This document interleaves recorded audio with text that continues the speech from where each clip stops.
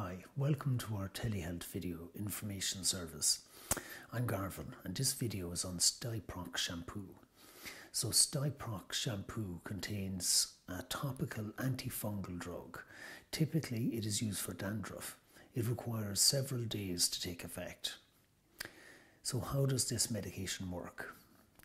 Stieprox or the active ingredient Ciclopirox belongs to the group of medicines known as antifungals.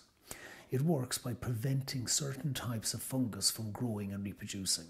The cream and lotion form of this medication are used to treat certain types of fungal infections of the skin. so, and the lacquer form is used as part of a treatment plan for fungal infections of the nails.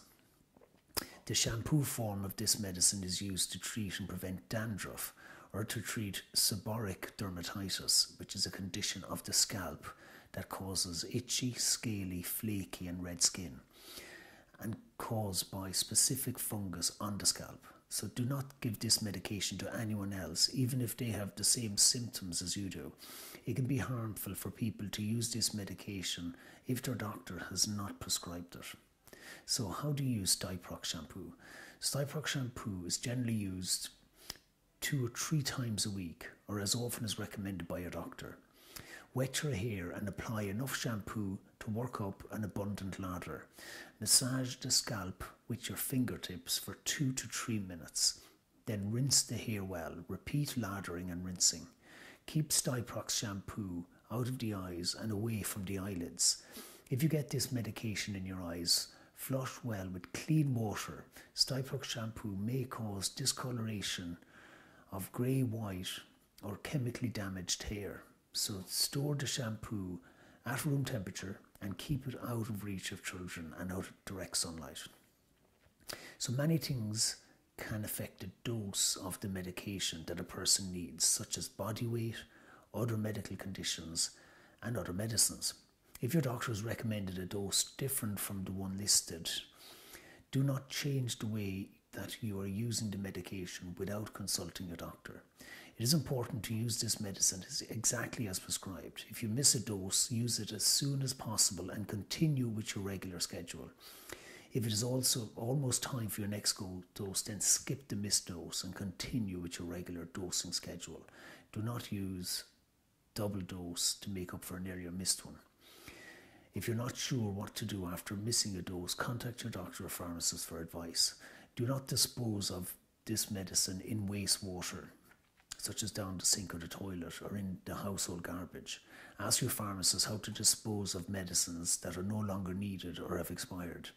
So, what are the side effects or um, of this medication? So, many medications can cause side effects. A side effect is an unwanted response to a medicine when it is taken in normal doses. Side effects can be mild or severe, temporary or permanent. So, the following side effects have been reported by at least 1% of people taking this medicine. Many of these side effects can be managed, and some may go away on their own over time. So, contact your doctor if you experience these side effects when they are severe or burdensome. Your pharmacist may be able to advise you on managing side effects. So the side effects would be a rash. And check with your doctor as soon as possible if any of the following side effects occur. So burning, itching, redness, swelling, or other signs of irritation not present before use of this medicine. So, are there any other precautions or warnings for this medicine? So, before you begin using a medication, be sure to inform your doctor of any medical conditions or allergies you may have any medications you are taking, whether you're pregnant or breastfeeding, and any other significant facts about your health. These factors may affect how you should use this medicine. And for pregnancy, this medicine should not be used during pregnancy unless the benefits outweigh the risks.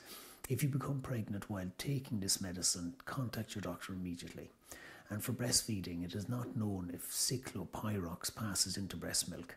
If you are breastfeeding, and are taking this medicine, it may affect the baby. So talk to your doctor about whether you should continue breastfeeding or not.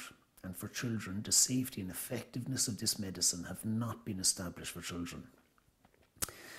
So it shouldn't be used for children under 18.